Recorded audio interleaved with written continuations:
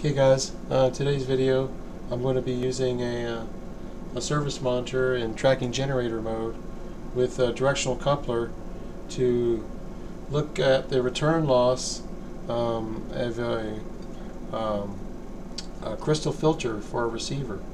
And um, I want to go over um, how to uh, measure the uh, bandwidth of the uh, filter and um, also, I'm going to go into how the uh, directional coupler works.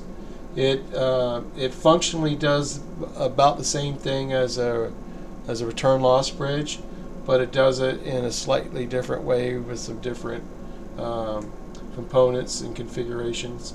Um, I'm going to go into how this works with the uh, service monitor to get our sweep, and then I'll do a uh, demonstration of how to uh, measure the bandwidth. So let's start off with uh, having a look at the uh, our current uh, setup here. Um, what I have is I have my service monitor here and here's the coupler and here's the crystal filter and it's got a uh, 50 ohm dummy load screwed onto the back because it needs to be terminated and um, real quick, uh, just a kind of um, a, a, big overview of of how this uh, of how the service monitor does this is that um, in the uh, tracking generator mode, uh, the generator and the spectrum analyzer are synced together frequency-wise.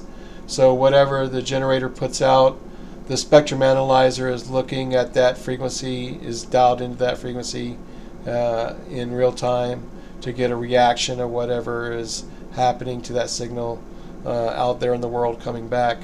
Um, so that's what makes the tracking uh, generator special, and you can't really do this return loss uh, function uh, without that uh, without that option.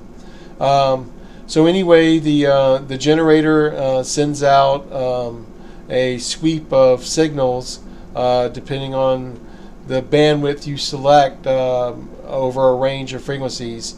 And these come, uh, they, they essentially go through the coupler without uh, much any loss. And they um, go into the load, uh, your, your load, whatever is out here. Um, whatever the load is, is in tune and is 50 ohms with, um, with you. Um, that signal will get absorbed and stay with the, with the load.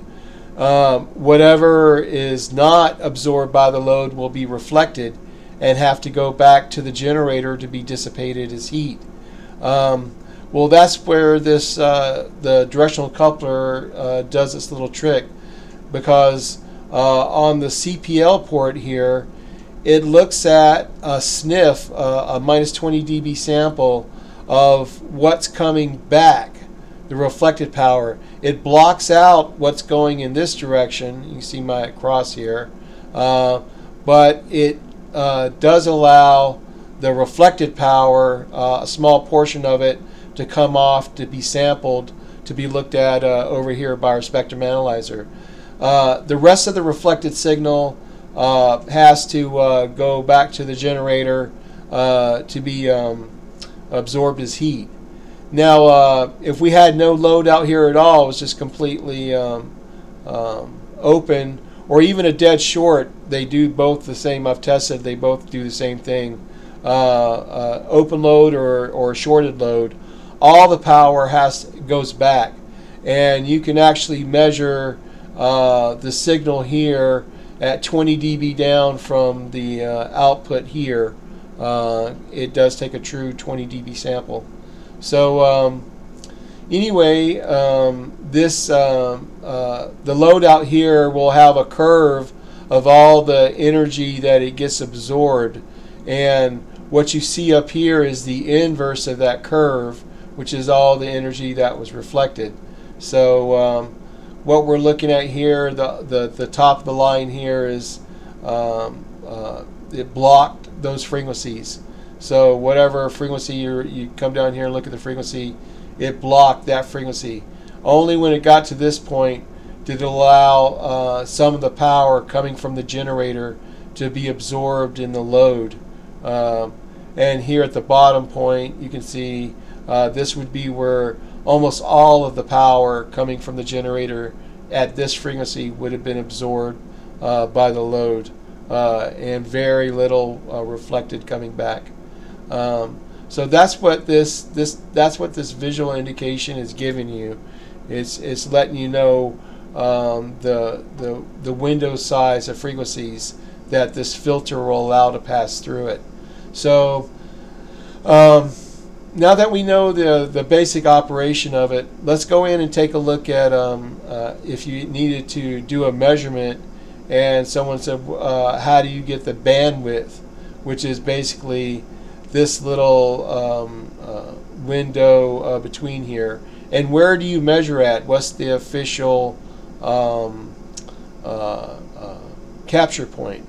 Uh, well, let me bring up this drawing to, to make a, uh, a reference to that. Um, you hear a lot in the in the business about a 12 dB point, and 12, what 12 dB means in the worlds of like antennas uh, and things like that is the the point to where um, the the the performance is guaranteed at that point. So uh, an antenna that's 12 d that has a return loss of 12 dB or better uh, is good. Um, uh, some might say might their cutoff point might be 10 dB. So they say anything that's 10 dB or better is an okay antenna. Uh, but 12 dB is a, a real common uh, point used. That equates to uh, a 1.67 VSWR. And if you had a 100 watt radio, that would be like uh, uh 94 forward and 6 reflected. So 6 watts reflected would be the maximum allowed. Anything above that the would not meet the antenna would not meet spec. Uh, anything below it would be within spec. So this is our 12 dB uh, point that we're looking for. And we get this 12 dB number from uh, doing a measurement with no load whatsoever. And we count down 12 dB from uh, with uh, no antenna, uh, no load whatsoever. So this is going to be our 12 dB crossover point right here. So uh, any any frequencies between here and here the uh, crystal filter or the antenna or whatever the uh, the device would be would be um, uh, intolerance or in spec at that point. So uh, we call this um, the the amount of uh, frequency range that goes between 12 dB point to 12 dB point. It's bandwidth. Uh, so this would be its effective usable level. Uh, now, so let's uh, let's go back into the uh, the one on the screen, and I'll show you how that that measurement is being done. Um, we're going to be looking at the the level up here, this input level. This is the one that's going to be our our reference point. And what I want to do is I want to come over and let's uh, get up the frequency here and I'm going to go ahead and remove the load completely. Alright, so um, at this point, when we're looking up here at our input level, we are at minus 55. So what we're going to be looking for is something that's uh, 12 dB or lower than this reference point. So um, that would be minus 67 is our magic number that we're going to be looking for. So we know 67 is our number. So we're going to come back over here. And now what I'm going to do is I'm going to start adjusting the frequency and moving the display over. And I'm going to wait until my center line crosses over this point where we get the, the minus 67 at. So let me bring it over here and I'm looking up here at my level as I'm as I'm adjusting it. And that's probably going to be me right there. If I go one more yeah that's too much. So um, so there's my my first 12 dB uh, crossover point. It would be at the frequency is 42189 so that's my, the high side of my uh, window here in my bandwidth. Now if I keep on um, uh, cranking up the frequency here and moving it over I want to I want to slide it over until I get to my other crossover point and um, then uh, stop at that point and that's it uh, 142 let's see we need to go uh, there it is 4217 and uh, one